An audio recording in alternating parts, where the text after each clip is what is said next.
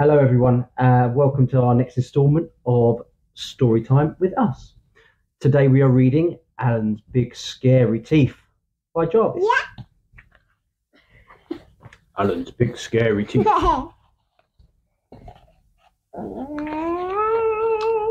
Alan came from a long line of very scary alligators.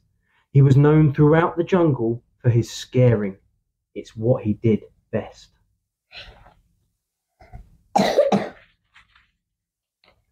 Alan would start each day polishing his scales, sharpening his nails, and brushing each of his big, scary teeth for at least 10 minutes at a time. And after practicing his frightening faces in the mirror, grrr, he'd sneak into the jungle for his morning round of scaring. Alan went snap, snap, and grrr, grrr. He said things like, I'm big scary Alan. Fear my razor sharp teeth. he made the frogs leap off their lily pads, and the monkeys tumble from the trees, and the parrots screech in terrible terror. snap, snap, grrr. Eek! Wahaha! I love being scary, laughed Alan. After a long day of scaring the jungle animals, Alan would head back home to the swamp, relax, finish the crossword in the jungle times, and take out his false teeth. Nobody knew about Alan's false teeth. Good night, sweet teeth. Sweet dreams, my scary snappers, Alan would say as he put them away carefully in his super secret hiding place. One morning, Barry the beaver was up early collecting wood and came across a dozing Alan.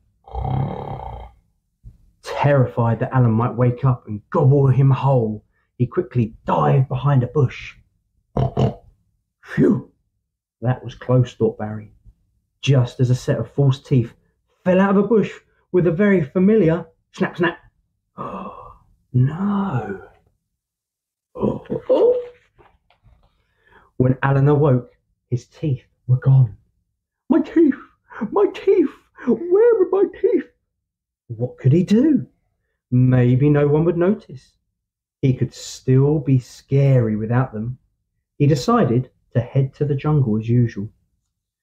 He made the frogs leap off their lily pads the monkeys tumble from the trees, and the parrots screech. With laughter, Alan just wasn't very scary without his teeth. Snap, snap, grrr. All the monkeys and frogs are laughing. Alan slunk back into the swamp. He had been he had never been more embarrassed. He came from a long line of very scary alligators. Scaring was all he'd ever known. What would Alan do now? Oh, there's his teeth on the floor. Poor Alan began to cry. Just a bit at first, but then the tears kept coming. He howled and he yowled, and more than all the jungle babies put together. He could not stop crying until